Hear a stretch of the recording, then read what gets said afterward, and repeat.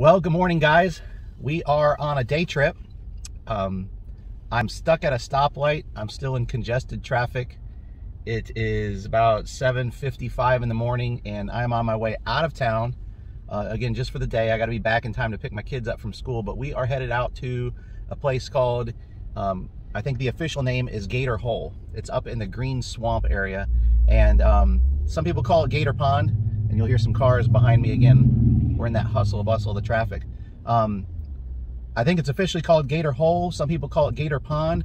It is off of Highway 471 and it is part of the um, uh, Florida Trail. So we will be parking and jumping on the Florida Trail. When I say we, it's just me today. Um, it's a weekday. Um, that's the joy of owning your own business and being able to slip out every now and then, even though I probably should be working. Um, I'll work a little bit through through the phone and that sort of thing. But yeah, we're heading out there. Um, and what the reason I'm going out there on just a day hike, first of all, it's nice to get out every now and then. But I got a trip I'm trying to plan with my son and my nephew coming up um, the week after Christmas. And so um, we had reserved Colt Creek, which is a state park in that same exact area. And we're hammock campers. So all three of us will be hanging hammocks. Um, that's what we sleep in when we go out. Uh, most trips, sometimes we'll do a tent if we bring the rest of the family. But um, someone mentioned that they didn't think Colt Creek, the site we were looking at, was conducive to hammocks. There wasn't enough trees around in that immediate area on the designated site. So someone recommended Gator, Gator Pond, Gator Hole. Um, so I am going out to check that out. I have it reserved. I have both of them reserved. And um, so the ethical thing to do is get out there today, look at and confirm which one I want and get the other one back open so that other people can scoop that up and enjoy it. Because obviously I know I'm only going to be using one. So um, here in a few hours, we'll be canceling one of the two and um, we'll lock in where we're going for Christmas. So stick around for the ride.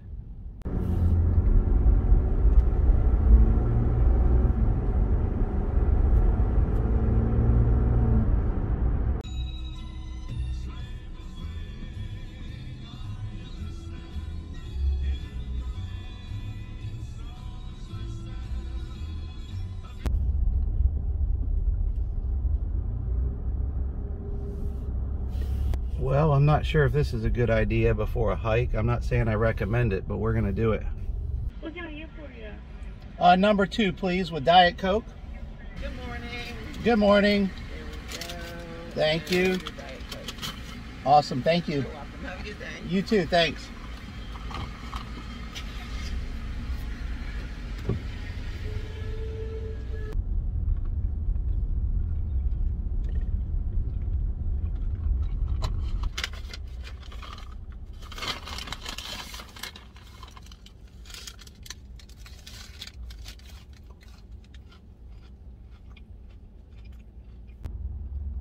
Bet I get a lot of comments on this one.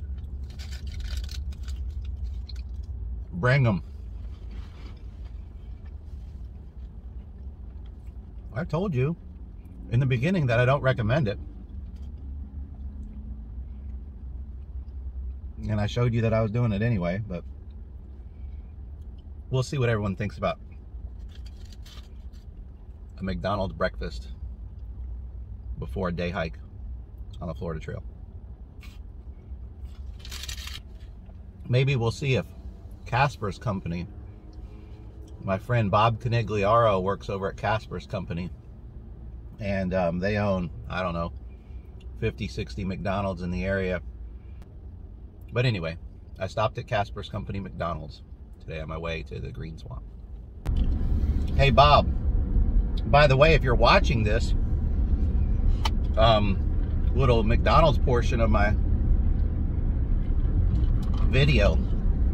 Maybe we could make let's think let's put our marketing hats on. Maybe we could make this a tradition where you could give me a voucher for a free breakfast.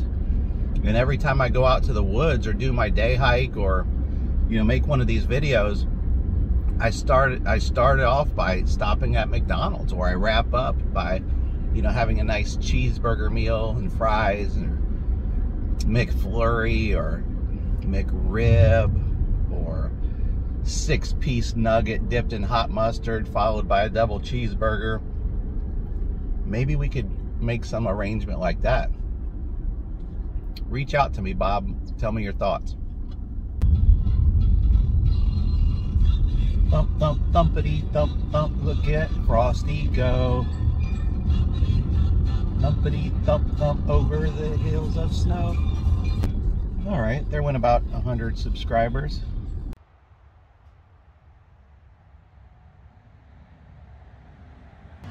All right, we're off.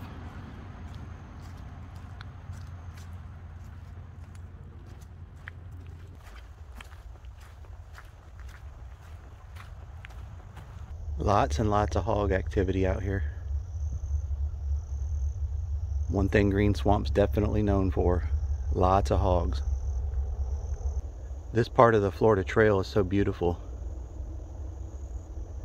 because you can see so far out each side, but it's not necessarily like a prairie. It's fairly thick woods, but you can walk almost any direction out here left or right and just wander off in there and I don't know if you're supposed to camp, but you could camp. It's always interesting to walk in the woods and hear the sound of traffic going by fade behind you. I don't know if you can hear it, but the trucks are still going by out there by the parking area. We parked on a main road in the designated parking area and walked in here and the further you get back the more peaceful it gets because you lose that traffic sound I had just stopped the camera and took a few more steps and spook some deer. They gone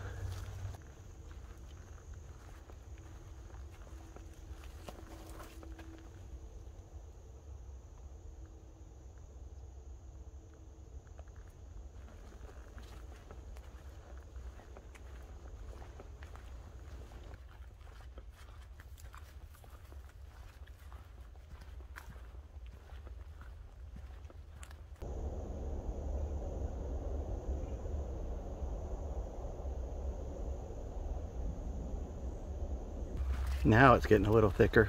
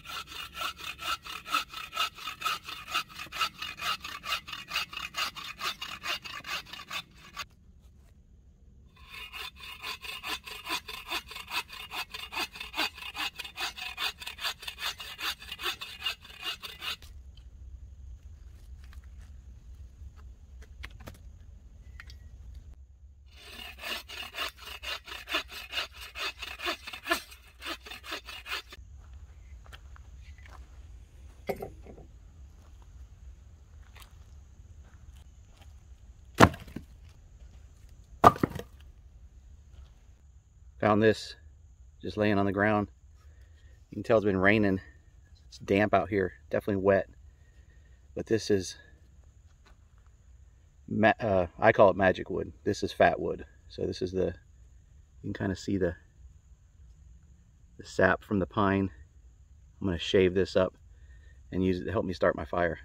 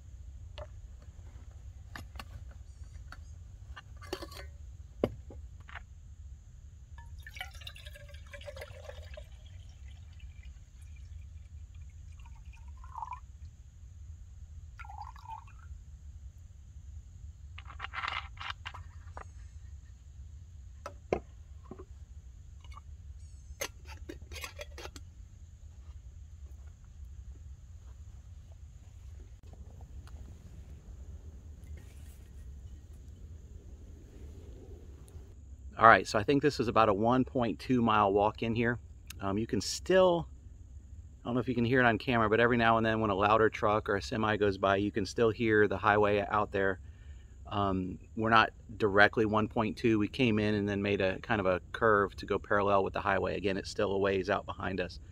But real nice campsite. The Florida Trail is out all behind out here where we walked in. Um, I did walk down it that way a little bit. I was looking at a pond um, by the way, if you don't follow, if you're on Facebook and you you dig this type of stuff, first of all, would love for you to subscribe to the channel and give it a thumbs up.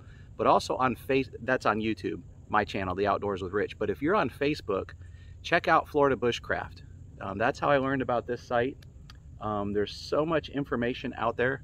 And, you know, I was actually going to go visit Colt Creek, and a guy said, and I'm going to try to tag his name in here because I appreciate the tip, because I am going to come here instead of Colt Creek with my kids. But Florida Bushcraft, go to Florida Bushcraft. There's somewhere between 3,500 and 4,000 people on there, um, all, you know, from the Florida area or enjoy visiting Florida that do this type of stuff. Some hike further, some don't hike at all and they're just truck camping. Some are really into bushcraft. Some, you know, make their own knives and equipment and, and just all kinds of different cool stuff on there. But if you want to know information, first of all, I would encourage you to search the site before you just go asking because people, you know, if we like, well, we've talked about that 15 times in the past six months, search for it. So you could search, for example, Gator Pond or Gator Hole or Colt Creek or anywhere. They do a lot in Ocala. But anyway, that's how I found out about this site, but it's pretty cool. Um, there's my chair I set up. There's my fire going. You guys saw me put my Stanley cup on there. I'm going to get some um, water going for uh, some ramen, but just trying to give you a little idea. There's um, one picnic table here. There's another picnic table back there. So there's two picnic tables and that big old fire pit. They make the fire pit so high probably so people don't, you know, things tumble out, uh, you know, and they leave it irresponsibly and it leaves the place on fire or something like that. That obviously would be a catastrophe but they don't have many holes in the side of it and it really makes it tough to get air through there. But other than that, it's a really spacious site. I am going to go on Florida Bushcraft and ask the guys if they've ever, you know, fetched water out of that pond that I just saw up there. It looked a little, it looked okay. Um, I think it's going to be good, but it's it's always better to get, you know, advice from people who've, who've been here plenty of time.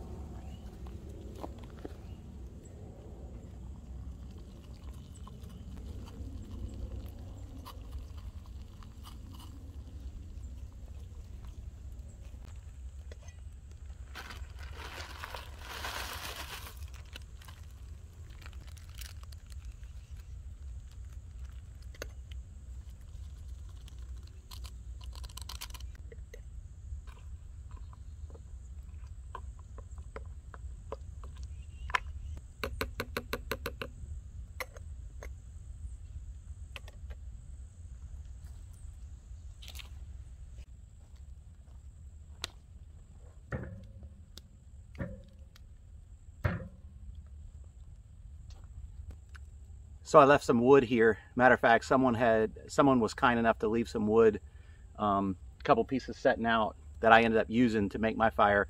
I don't really need this for heat or anything. I wanted to cook my lunch on it. I wanted to continue, you know, starting fires from just raw materials from the wood using a ferro rod. So I got all that accomplished.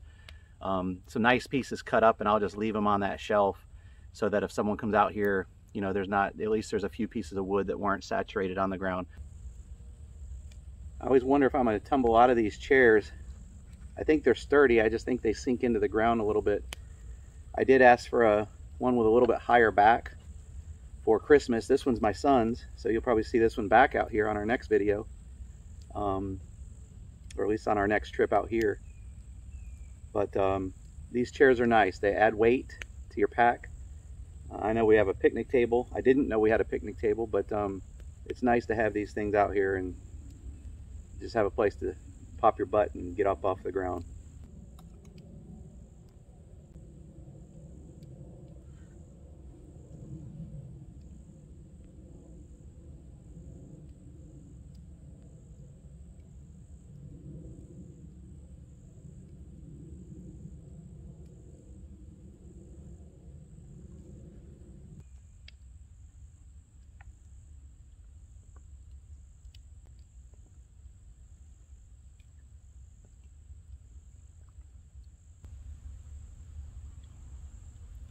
So this trail system goes a long way. I mean, obviously the Florida Trail goes the whole state of Florida, and this is part of the Florida Trail. But um, it goes up through here quite a ways. I think, you know, I'm about 1.2 miles in, you know, by by the trail, by following the trail. I think it goes 10 or 15 miles in this part of the woods, in this particular park, if you will. I mean, if you want to go further, you could absolutely, there's a map up front that shows you, um, I think there's three different primitive sites up in here. So, um, you know, I'm, I'm kind of taking a look, you know, for that upcoming camping trip. But if you guys like to go further and want to, you know, trek in, I don't know the exact miles, you'd have to look it up. But I feel like looking at the map, you could probably do a seven mile, a 10 mile, a 15 mile. Um, there's a nice parking lot out there. It's off of 471. Uh, there was one other car there at the time. Today's a Thursday, so you know I imagine on the weekends there's more. You do have to reserve these sites through SwiftMud. There's a site um, to go to. Um, they're free, but you do have to reserve them. Just letting you know that this trail does continue on for quite a ways. And so if you like more of that distance and getting way back further in there, there are other campsites deeper up in there.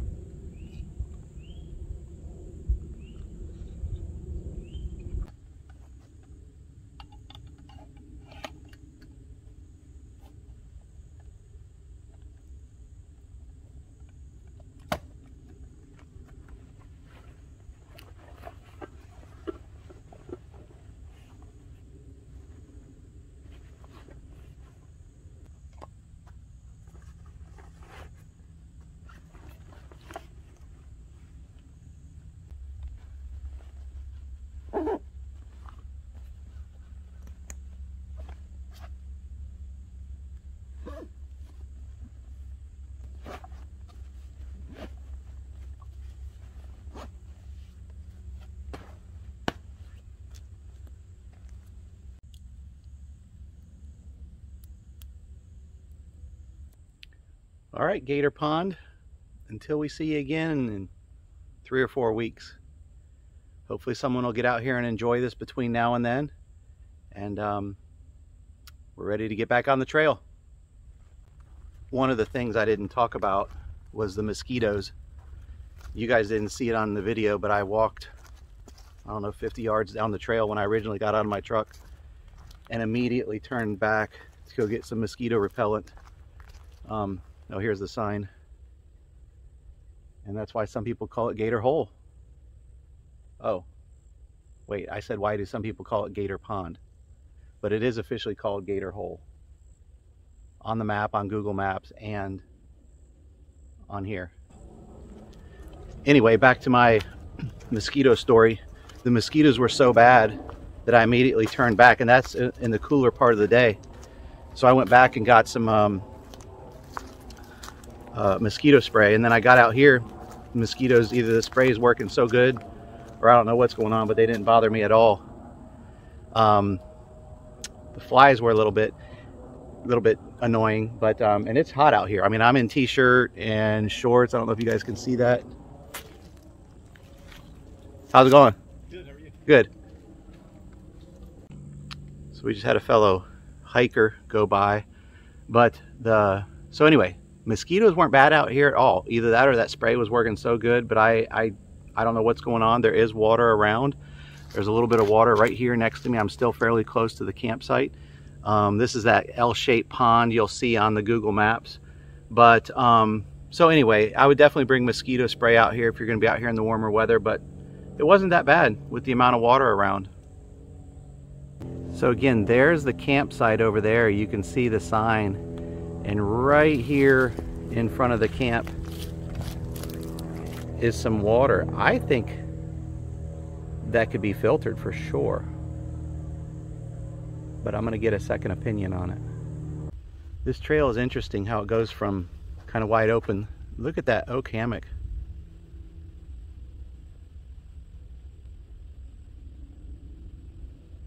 And the trail's going right up through there. It is just beautiful out here. Man, look where that deer has been getting after that tree.